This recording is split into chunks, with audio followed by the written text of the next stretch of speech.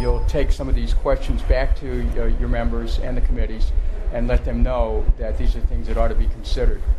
Uh, th- this is uh, uh, Dr. Uh, Dr. Keen's a very popular economist. He's in big demand all over the world.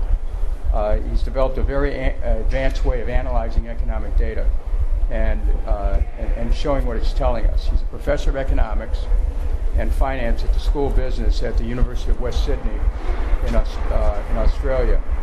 Uh, he's in big demand because he's one of the few economists who predicted the 2007 financial crash before it started.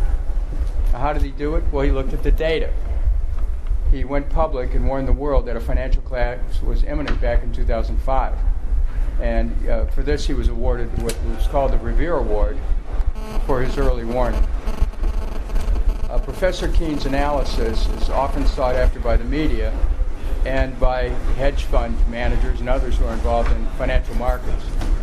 Uh, his recent book, Debunking Economics The Naked Emperor Dethroned, exposes how far economic theories have departed from reality or relevance. Uh, yet these are the theories that are often used to advise governments around the world, including our own government. Now, he's going to present his empirical analysis of today's economy and compare it with the period before and during the Great Depression. Using this analysis, Professor King will show us some lessons that hopefully we'll be able to uh, uh, learn to help us avoid the mistakes that were made in the Great Depression. So, uh, uh without uh, going further into his presentation, which he will do, uh, Professor, welcome. And again, I want to thank all the staffers who are here. This is a, a very valuable presentation, and I, I think that you'll um, have some information to take back to the members in the committee, which will be quite useful at this time. So, thanks, thanks very much, Dennis, and thanks for coming along. I hope to make it uh, both uh, worth your time and hopefully interesting as well. But clearly, the fiscal cliff is a, a new phenomenon for the American Congress. One thing I've always had as a defining feature of American Congress is it's a place where nothing happens in great detail. In other words, there's such a degree of logjam normally, that things just don't occur. But now, what you've set up is a situation where if you don't make a decision, something will occur, which is quite intriguing shift on the past. And uh, I want to go through a number of quick oversights I'm going to go through here that make the analysis I'm giving you different to what you'd be getting from the Congress Budget Office and getting from economists at either end of the political spectrum.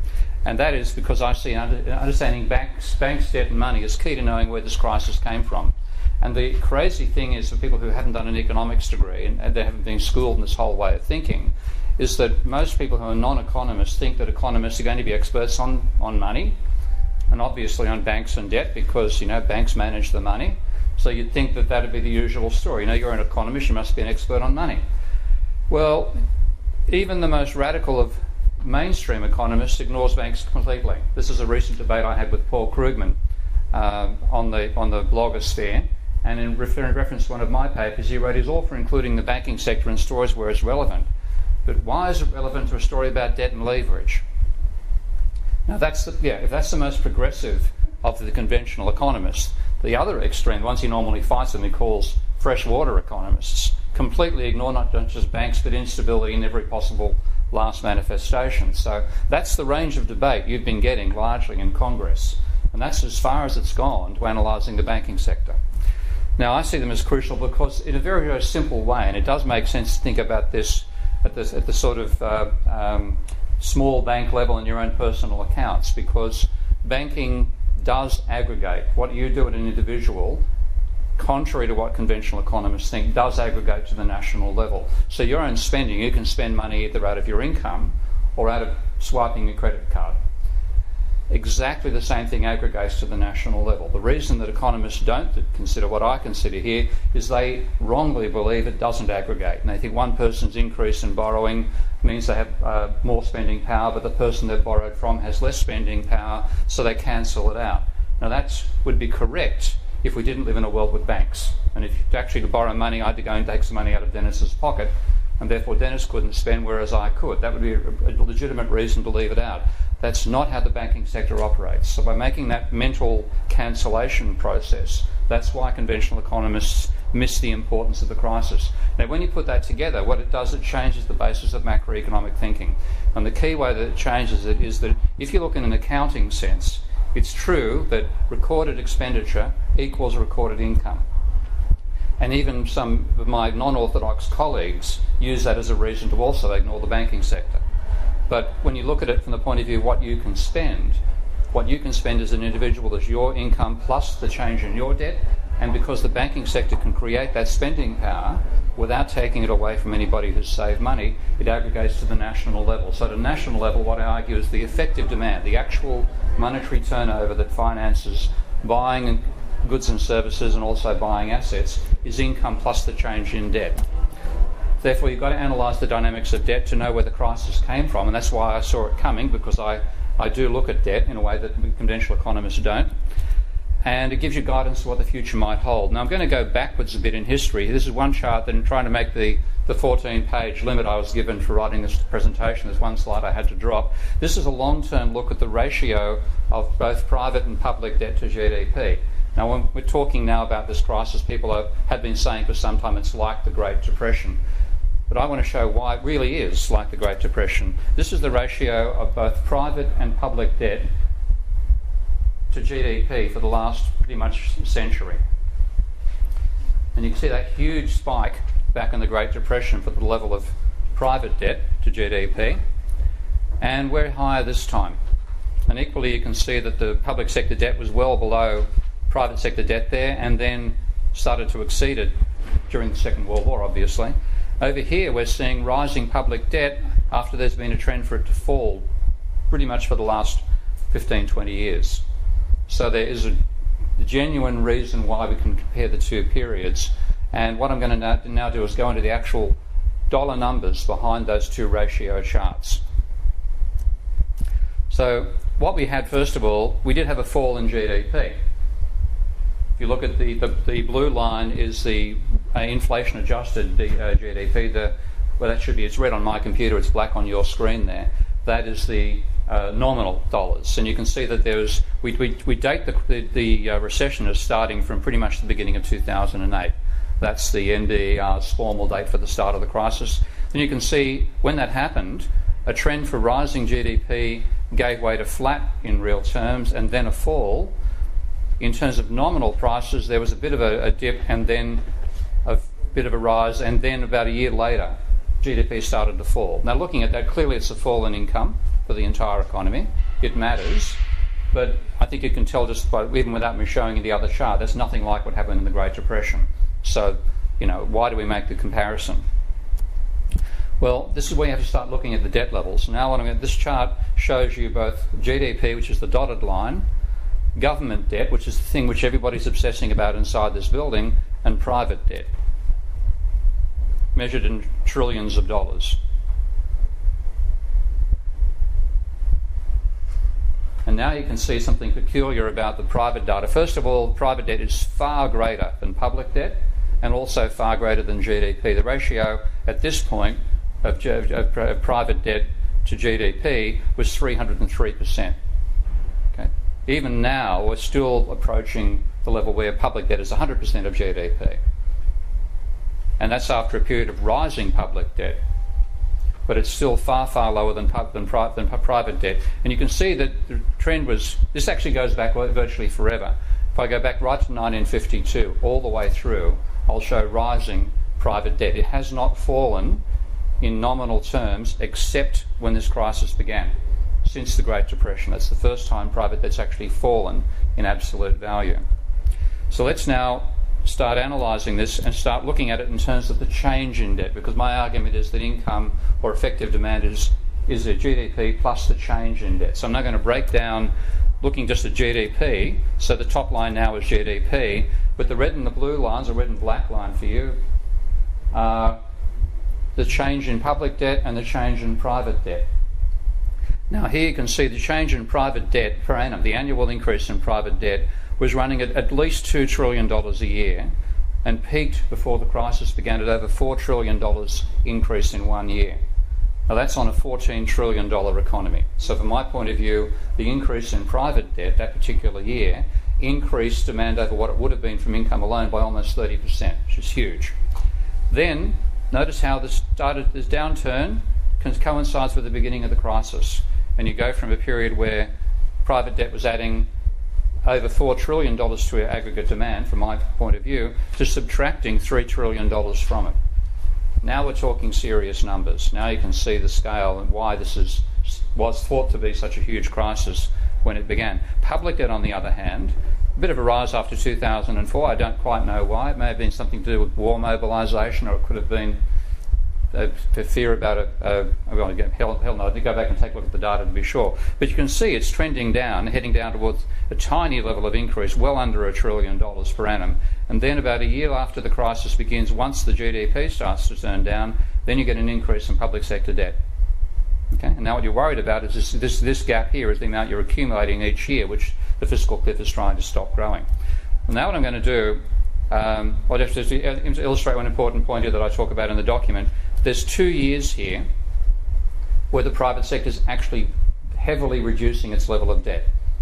Okay? It isn't a case of the debt growing more slowly than income, which was the case for the previous six decades. It's literally reducing the level of debt outstanding. It fell from about 42, 43 trillion to about 38 trillion dollars. Now it's flatlining. So that, that's, uh, I'll just actually jump back one slide just to show you that little feature I didn't quite emphasise. Notice how you reached a peak serious decline in the level of debt, and then it's been flatlining for about two years.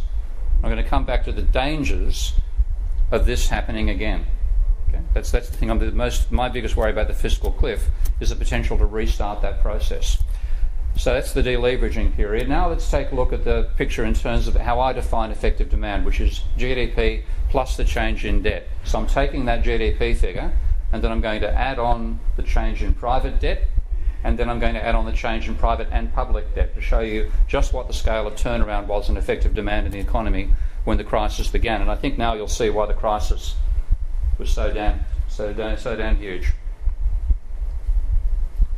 So the bottom line is GDP alone. This line, the darkish line on your screen, is the GDP plus the change in private debt. And the blue line is GDP plus the change in both private and public debt. So, looking at the American economy when the crisis began, it was about a $14.5 trillion economy in GDP terms.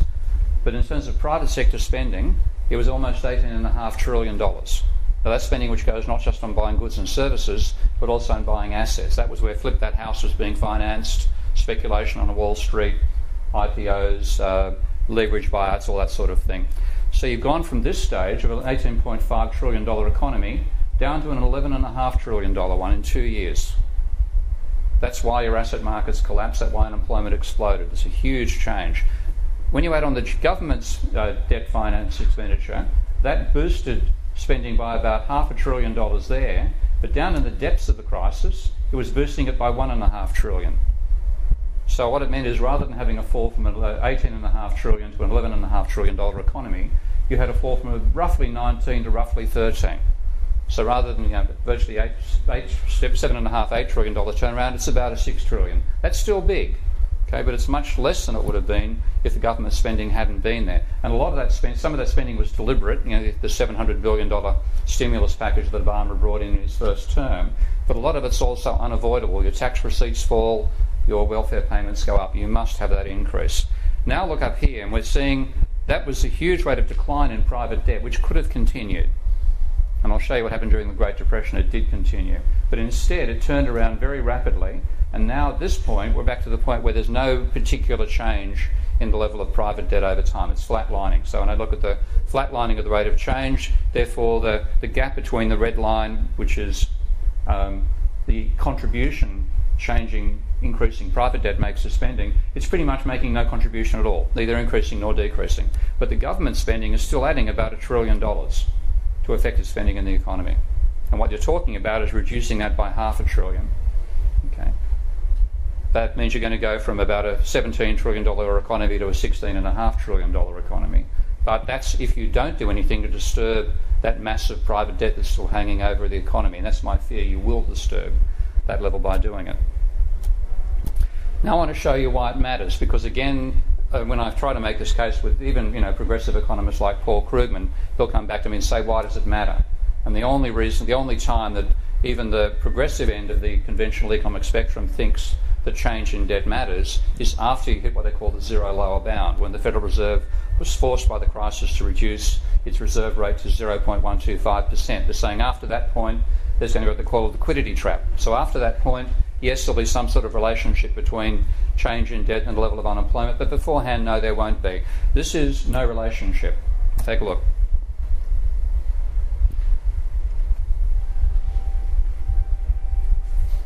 That is the unemployment rate. This is the change in private debt, and this one here is the change in public debt. Now, when you take the unemployment ranging from zero over here to 12% up here, and this is the change of debt being measured on the other axis, and you can see they're almost like Rorschach plots, images of each other. Okay? When change of debt, when, when the level of the rate of change of debt increases, the level of unemployment falls. Now, it's not saying rising debt's a good thing all the time. The certain level of debt you need. Private debt finances investment, that's necessary. When it finances speculation and gambling, as it did during the subprime, it's catastrophic in the long run. But it, nonetheless, it still employs real estate agents, valuers, etc., etc. So there is a relationship between rising debt and falling unemployment. And the correlation coefficient, for those of you used to working this way, is minus 0.94 across that period of time. That's all, you know, virtually perfect correlation. On the other hand, here's public debt. Now, notice public debt rises when unemployment rises. So you've got to think about what's actually going on there. It, it, does rising public debt cause unemployment? No, it's obviously the other way around. The public debt rises when unemployment rises because the economy slows down, tax receipts drop, unemployment benefits rise. So there's a very, very strong causal relationship between the change in debt and the state of the economy. And I can go much further than this, data going back a long, long way, strengthening that case. This is just to get through in 14 slides. Now, also, this change in debt doesn't just finance the uh, real economy, it also finances asset markets. So all that flip that house stuff that Americans had great fun playing, and my country is still playing. Unfortunately, we haven't got a, away from the bubble down in Australia. What actually drove those house prices was accelerating private debt. And if you look at the correlation between the rate of change of mortgage debt as a percentage of GDP and the rate of change of real house prices, again the correlation is very powerful. I can go in more detail again and show a relationship between accelerating debt and changing house prices, and I get a, a similar correlation to what I've got here. One, one drives the other. So this is really showing you how what you can call a Ponzi economy or a Madoff economy, driving you, driving up asset prices, causing apparent wealth, and then of course the crash coming in on top of that. Let's go back to the 1930s. What I want to now do is try to make some argument from historical precedent about what you could experience if you go through the fiscal cliff without attenuating its impact. Now, first of all, of course, that was a much more severe, pardon me, crisis. So here I've got the uh, the nominal and real change in GDP. The nominal was worse, of course, because as well as falling output, you had deflation, falling prices. So the nominal fall in GDP from about 115 billion dollars, and by the way, it is billion dollars. It's uh, a lot. The, inflation is doubled, uh, increasing by a factor of two over that time period, exponential factor of two. But you went from a GDP of about 115 billion down to one of 55 billion in nominal terms, and even in real terms, about a 30% fall over just three years. An incredibly sharp crisis, so much worse than what we've been through this time round. Question is, why? Did you have, was it because the, the crisis back then was much worse than now? You know, was there, was there a bigger level of debt and a bigger speculative bubble? We all know about the roaring 20s. I'm sure some of us are going to go and watch The Great Gatsby shortly. Okay, that's that's the image we have of this speculative excess. Well, I'm afraid they have got nothing on Gen Y, because this is the same chart now showing the level of debt, private debt, public debt, and level of GDP, and you can just tell visually. Debt, private debt was higher than, than GDP during the Great Depression, but by nowhere near the scale we've been through this time round. So the scale of debt finance was much larger this time round. And government debt, again, the same sort of thing. Notice it's flat lines, and then when the crisis hits, it starts to rise. The same sort of causal relationship. Well, let's now drill down one step further and look at GDP plus the change in debt. And what you'll find is that there was a much longer period where the private sector delevered. And a possible explanation for why they spent this extended time deleveraging is because the public sector contribution was so weak compared to what we've been through this time round. It, the public, the private sector continued to panic and delever because the public sector didn't attenuate the effect of the downturn. So now I have GDP as the top line there, and you can see the plunge in nominal GDP. The top line here is private debt, change in private debt The blue line is change in government debt. Now, notice the period of deleveraging here was four years long, whereas this time was only a two year period. From 1930 right out to 1934, the private sector was reducing its level of debt. And by reducing its debt, therefore, private sector spending was less than income, whereas the normal situation in a growing economy is private spending is greater than income. So that level of depressed spending, no in- investment taking place, demand not turning up in shops, etc., etc. And then you had another period of two years more of it. So you actually double dipped into depression. We tend to forget that, but that was a crucial period. That's why I want to come back and say, what does that tell us about what might happen with the fiscal cliff? And notice the increase in public spending, as you can tell by remember the previous chart I've shown you with the, the situation now, far smaller than what we've been through this time around. Even though we see the New Deal as an exemplar of government spending and trying to stimulate a depressed economy, the scale of Obama's stimulus program and lot spending was bigger than the New Deal. It didn't build any Hoover dams, but it was bigger than the New Deal. Let's now take a look at the um, effect and effective demand. So I'm adding together the change in debt and to GDP. And again, you can tell visually that the bubble in the 1920s was nowhere near as big as the one we've been through now. And the public sector was not making any contribution at all to spending when the bubble began. We had a period where the government was actually spending on top of the borrowing by the private sector, which is in some ways ex- accentuating the level of the bubble before we, we went into the crash. Then there's this long period where spending is below GDP, and the government slowly starts to increase its spending. But as you can see, the gap between those two lines tells you how large the deficit was, how much debt finance spending was going into the economy from the government, and it was fairly minor. And only by the, night, the time the New Deal came along was there any real impetus to government spending. But even that didn't last all that long. It petered out over here, and I'll take you into a bit more detail in the next couple of slides. But I think the government thought the worst is behind us, crisis is over. They slowed down their spending, and what happened was the private sector began deleveraging again. I can illustrate that in another chart here. So what you had was a dip back into depression. So here now we're looking at unemployment and the change in both private debt and public debt, and you can see that gigantic drop in private debt, seeing that as a percentage of GDP. A huge period again, that dip there is like a little dip I showed you before, how we went through the very V-shaped one. That was we, we, had discussion some time ago, V-shaped versus U-shaped recovery. We had we had a V-shaped recovery in terms of the Great Depression. They had a U-shaped experience. Now, the reason why this may be U-shaped is government debt, first of all, wasn't sustained. Again, I think under Hoover, there was a belief the crisis was over. You remember that famous talk when I think Hoover had a few um, welfare people turn up to him and he said, "Gentlemen, you're you're three months too late, the Depression is over. I think that was in 1932, 33, 30, 31, 32. Then Roosevelt comes in, the New Deal, and a great boost of spending, but then it starts to decline once more. Now, notice unemployment skyrockets to 25%. It falls under the influence of the New Deal at last, not with any, you know, there's, there's some volatility there clearly, but it's heading down.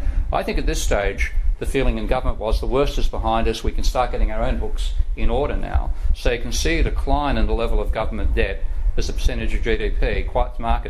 And then the private sector started deleveraging again. Because the demand wasn't being pumped into the economy through the government spending, and suddenly the businesses weren't getting that revenue, they had to worry about their debts, which were still massive compared to where they were in the early 1920s and they started paying their debt down again, and bang, unemployment went from about 10% back up to 20.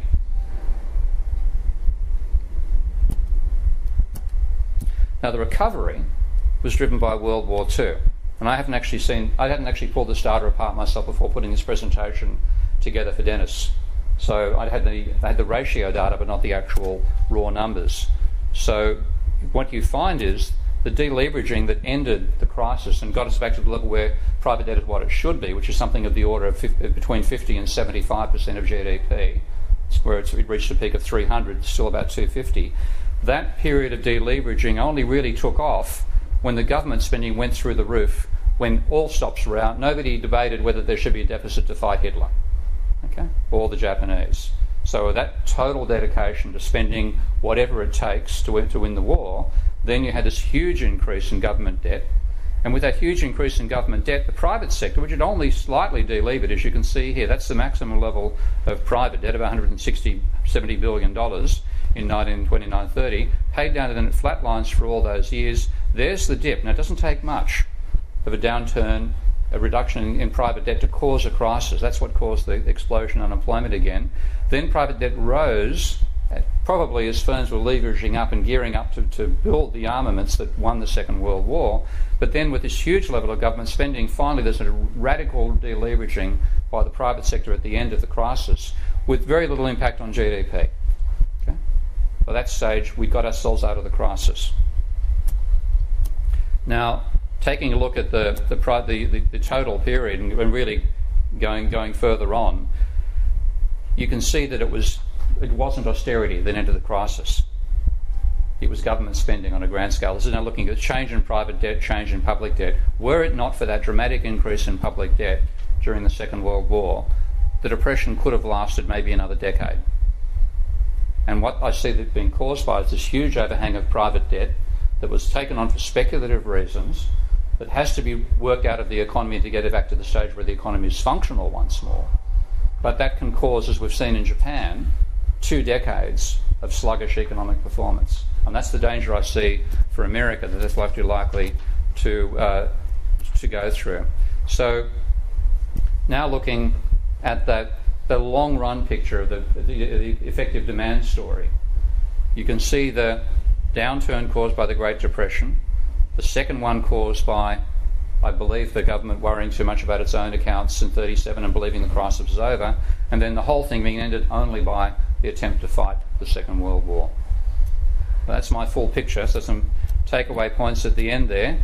First of all, a, a, private debt and public debt both matter, not just one, okay? And they're independent to some extent. Again, this is something where I differ from a lot of my fellow non orthodox economists who argue that one is the mirror image of the other. That's not true. And in the accounting sense, when you record it at the end and treat the entire private sector, including the banks, as one entity, then it's true that if you make one entity as public and the other as private, because of the accounting balances that occur, a deficit of one is perfectly matched by a surplus of the other. However, when you break the private sector down and include the banking sector in there, then the private sector, which borrows from the private banks, can increase or decrease its debt levels independently of what the government does. But the real danger is they affect each other, fairly subtle ways. Now, if you have a period of rising private debt, that can enable the public sector to pay its debt down, which we saw the normal situation from the 1950s right through to when the crisis began. Equally, when the private sector debt starts plunging, public debt's likely to rise. But it's possible for each group to make independent decisions about what to do, which is what the fiscal cliff is about. Now, I think if you then have the government deciding to cut its debt, that could actually trigger a renewal of the, the payment the process of paying down the debt by the private sector. And I call that level of, of debt the rock of Damocles. You know the old story of the sword of Damocles. I, I see that's what the, the fiscal cliff is for you. It's the sword hanging over Congress saying, make a decision or it drops on the 31st of December. But my danger is the rock of Damocles, that that huge hump of debt still sitting there in the private sector. And if the fiscal cliff triggers that renewed downward process, then that will come down and crush the economy once more back into a downturn. So you have all these complex dynamics we need to be careful about. We have to make private debt the important focus here. Okay? One of these days, getting public debt down may matter, will matter, but not now. And that's because, first of all, private debt is so much larger. Again, this is not common knowledge, but it's in the flow of funds, easy to find the data. And it's the driving factor. Generally speaking, the public sector is responding to what the government does. The, the government that's responding to what the private economy does. But if it tries to take a causal role, it could trigger that process with private debt. And of course, the, the caused the crisis with the collapse in private debt the government debt only rose because of that private debt collapse, and that reduced the severity of the crisis. But we're still believing we're not in a crisis right now, or it's over behind us. I think it's the same sort of thinking as back in 36, 37. Now, premature end of that, we could have that renewed deleveraging by the private sector, and then you wouldn't just have a half trillion dollar slab taken out of the economy, you might get a two and a half trillion dollar slab taken out of the economy. It's really got that potential to it. So the main challenge of public policy is not to reduce government debt, but to shift the debate so we focus upon that private debt and see that as the real thing we have to control. And that takes statesmanship, not simply slashing budgets. Thank you. So, uh, any questions of uh, Professor Keen would be in order. Uh, you know, keep in mind that he may not be into the weeds as far as our politics, but um, this is. Uh, somewhat provocative in terms of uh, the received wisdom which Yeah. we have here on the Hill right now, which is uh, there's a very strong feeling among some that government spending has to be cut. Mm. But you're saying that you do that and you're going to see some deleveraging by the public sector, Private sector. or the yeah. private sector rather, Yeah. and, and then you're looking at a uh, at, at more of an economic slide. That's right, because again, we're just focusing upon the, private, the public sector debt reduction and then seeing what that does to GDP. That's the conventional debate. But if it does it to GDP plus change in private debt, then there's an enormous uh, potential still for reduction in private debt to reduce spending even further. And so rather than, if you see the figures, you, this is one way one to think about the work you may have seen by Olivier Blanchard recently for the IMF, where they, who and they were quite proponents of austerity. They were saying in austerity, each one dollar cut in government spending will at worst cause a half dollar fall in GDP. Well, they then recalibrated after trying it in you know, the sad countries of southern Europe and found it was a $1 cut in government spending caused a $1.7 cut in GDP. But a lot of that spending itself was debt finance, so part of where that multiplier comes from is the impact upon the private debt debt level. And again, with $40 trillion roughly, or 30, 38, 39 trillion dollars of private debt sitting there, any attempt to delever by households or by the finance, by the financial sector's own debt or by private corporations, and you could see a very large amplifier of what the government does in reducing demand. So we cut government spending right now, we could be in effect jumping off the cliff. Very good expression. I won't even try to top it. Any any questions or comments? I assume your concern is about the um, austerity that would happen immediately in terms of fiscal cliff, and Yeah. not about a long-term uh, Yeah. actions that would reduce uh, future growth in debt. Yeah, it's what it's what the, you're talking about. What a 500 billion dollar cut, effectively. And obviously, you're talking about very immediate impacts on Yeah. the tax and spending side. Yeah, on the first of January. Yeah, So long-term spending reductions, you would not have the same concern about. No, I think- things that would really kick in Yeah. next year are the problem. Yeah, you have to be very careful. It's it, it's ultimately you do want to you know, reduce public sector debt, uh, but it's, that's ultimately so far in the future. It's not a, not a, not an important issue, and there's public sector debt finance is a large part of what's productive in an economy to begin with. It's lack of awareness about that. We've had about 30 or 40 years where economic debate has tried to denigrate the role of government in the economy, and I'm a critic of uh, some aspects of government spending, and I. Um, you know, I'm, I'm not, not, I'm not a, a mainstream, you know, government's always good by any stretch. But you have to see there are, there's a role for the government in providing infrastructure, maintaining the capital, the capital base of the entire country. And we've denigrated that in the last 30 or 40 years in the debate. And really, what's happened while we've been denigrating that, we've been ignoring this enormous private debt bubble, which rather than financing anything productive, largely financed asset bubbles. Yeah. Do, do we already see? Do we already see some of this effect in fear from small businesses because what is going may happen? Yeah, yeah. This is often, often what happens. Again, people, conventional economic theory tries to say the public sector goes one day, the private sector will go the opposite direction. You know, but often what happens is the public sector goes one way, the private sector will go the same way. So you mentioned the, private, the public sector decides to build a highway, you know, between here and and uh, and, and uh, you know Baltimore, or whatever. But you'll see private people making a decision to take out loans to build 7-Elevens along the highway. There is a way they feed off each other. They're, they're not always in contradiction with each other. So if you have the private, the small businesses looking at it now and saying, hell, they'd actually know their customers, where their customers work. Their customer coming in and chatting to them and saying, you know, I'm not sure I'm going to have a job on 1st of January. And the small business person in that situation is not going to be running up a large overdraft, not going to be considering expanding. So you'd get the downturn in government spending triggering a downturn in private spending as well. That note, just um, I'm the SBA administrator for this region, Hmm. and so we in this region have three times more government contractors than any other region in the U.S. I'm not amazed. So uh, it's been great, great experience. Um, and we see this as a huge problem because um, that, that domino effect that you're talking about is really, really important to our Yeah. businesses. And those contractors, when we talk about uh, asking them to diversify, I was in a conversation uh, two days ago where, where I'm like, so what, what should I tell my folks? What should I tell my, my, my, my regions? And uh, they're saying, well, they should start exporting. I'm like, well, um, Exporting exporting from Washington. From no, from from actually we're Virginia, West Virginia, Pennsylvania. Well, it's Delaware, reasonable. Maryland, Okay, yeah, yeah. Uh, but we're not big exporters, No. no, we're, we're not. And so asking them to diversify with not providing the right infrastructure and framework is going to be a really tough one. And the other thing, of course, that exporting is one of the few things that's totally a zero-sum game. You know, if you're, if you're trying to export your way out of it, and China's trying to export their way out of it, and Australia's, we, we can't do it. Okay, it's it's not a solution that everybody can do. So it's again very. That's the sort of advice you give when you haven't got any advice and you want to say something that doesn't make you sound totally stupid. But if you think about it, it does make you totally stupid. Yeah. Um, what do you recommend then? Um, because obviously, whether we should let the Bush tax cuts expire or be extended, or just you know expire and raise the rates in the middle or on the upper class, what do you think? I, I think? I think you've got the right to change the ta- distribution of tax. I mean, that talk about you know removing the tax cuts from the upper levels, but balance it by tax, you know, but increasing, removing tax benefits at the top level, providing them down the lower level. You still need government spending programs. That's all necessary. But ultimately, I don't think this is this, this is. If you imagine what it took us to get out of the Great Depression and how long it took and the pain that was involved in all that, and look at where we are now and see we've actually got, when we started the crisis, 1.7 times the level of private debt they had back in the end of the 1920s. So we've got ourselves a bigger hole we've dug ourselves into. I really don't think we can get out of it without deliberately reducing the debt by government action. And what I mean, I don't know by government spending, I mean deciding to write off the debt.